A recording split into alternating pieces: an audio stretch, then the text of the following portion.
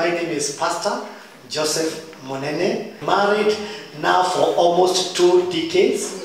God has blessed us with uh, three children, two boys, Wisdom and Winner, and one girl, Unity. And we are glad that God has favored us to be here together with you, to walk together in this journey of parenting, because you can't walk alone. Parenting is very challenging, and there are things that probably you are doing right now, you have never done them, or probably how they were done by your mother and your father, you don't have the best memory.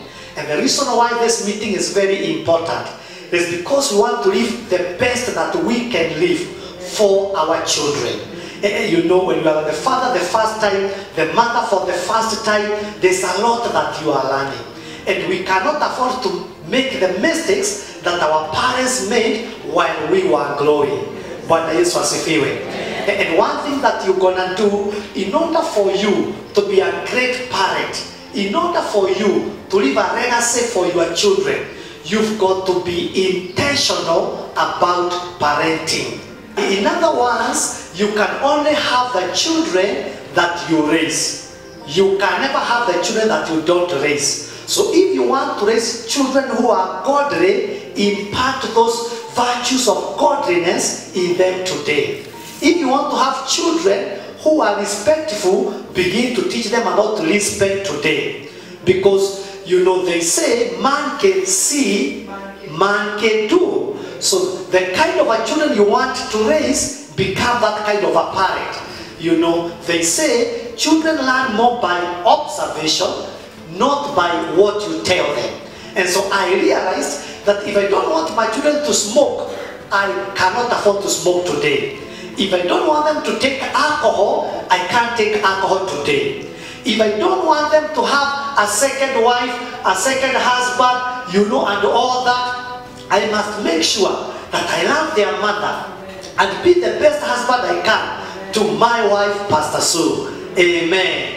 And because I want to a, winner and wisdom to maintain one wife, I must make sure I also maintain one wife in this season. Glory be to God. So I decided no matter the temptation, I will not see them, I will not be attracted, I will follow the ranks that I saw from day one, I will follow the shape that I saw from day one in Jesus' mighty name. Glory be to God. Why? I decided that I am going to become intentional.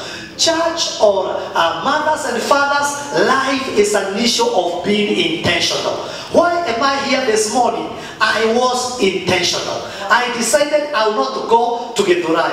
I decided I will not go for Nyamachoma. I decided that I am not going to, to where we meet with other men. I was intentional that this morning I am coming. I decided I'm not going to my business. This is where I am coming. Why are you sitting there this morning? You are intentional. You decided this is the place to be at a, at a day like today. Glory be to God. So, dear friends, if you're going to have great family and you raise great children, you must become what? Intentional. That I am going to, you know, duplicate myself to my son. I'm going to duplicate myself to my daughter.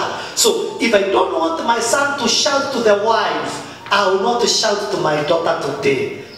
If I to my wife today, very very important because children learn by what they see more than what you tell them.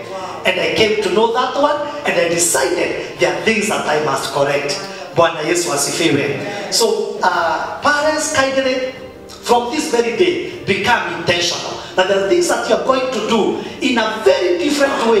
If you used to, to solve matters in the table room when the children are there from today become intentional. No solving matters when children are there. Close yourself in the bedroom. Go there solve your issues and then come when you are smiling and laughing na hata kama umefanywa nini fukia hiyo kitu ndani usiseme wakati hiyo msichana ako hapa ama kijana ako hapa why? Because there's something you are telling them when they grow. Behave this way. Bwana yesu asifiwe. Yeah very very important. Well the more we stay in this the more i love her.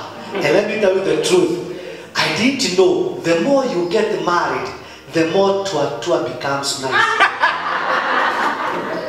I can't imagine doing this one with somebody else.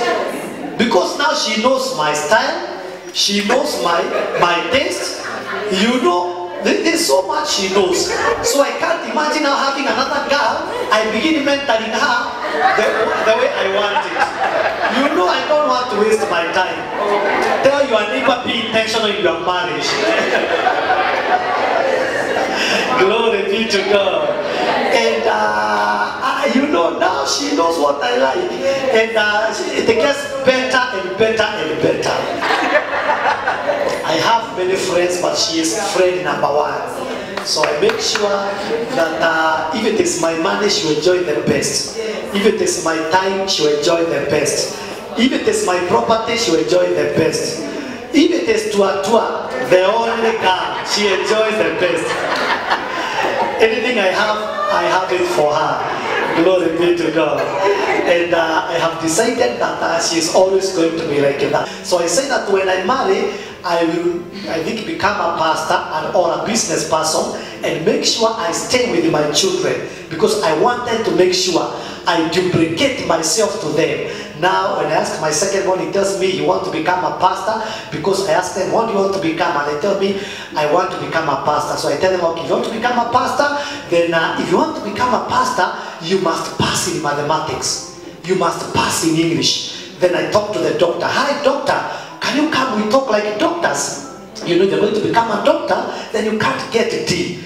You know, you can't get D in biology because that one is not for doctors. You can't get E in mathematics. That is not for doctors. So doctors get A. Doctors do this and the other. So when I'm correcting something in them, I first of all praise them. I paint the picture how they want to become, then I correct it.